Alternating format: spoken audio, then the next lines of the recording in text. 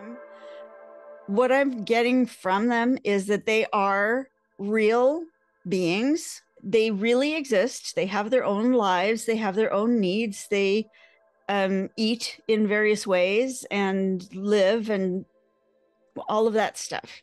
It's it's 5D consciousness or or maybe higher. You know, they are totally aware of their interconnection with with all beings, with all life, with spirit. They're living on this really high frequency that is very close. It feels very close to the angelic realm. They actually do live here on this earth, but at a higher frequency. So we can't see them and we can't interact with them. And it used to be because the Earth's frequency rises and falls in these, you know, 25,000 year cycles. When it's in a really low frequency, they have not been able to come across.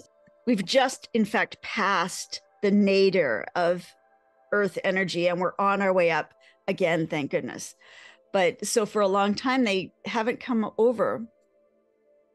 This is not flattering to humans, but. Hmm. Have have any of you noticed that that all of these problems are coming up and maybe stuff that you thought you'd worked on a long time and cleared and all of a sudden it's right in your face again is because we are ready and able now to really completely clear them. And we have to because they don't fit through the doorway into the new earth. You know all that heavy lumpy stuff doesn't fit. So they're coming to raise the energy.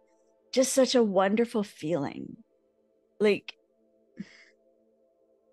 it's hard in this world often to feel really loved and really cared for and really valued. And a lot of us had parents who were so wounded that they couldn't really nurture us in those ways.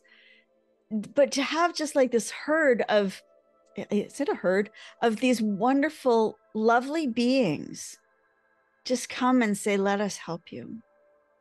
Just come and hold you in their energy, like bathing me in this shower of sparkling, beautiful energy. And it's really a lovely feeling. And mm. that's one of the things I really wanted to share with people. That's one of the reasons I wanted to do this, is because if we can start to feel that level of love and that level of self worth, it's it's world changing it is a really lovely thing to be able to build a relationship. We don't own them. They are just willing to voluntarily share their lives with us. And i think that just feels like to me such a beautiful gift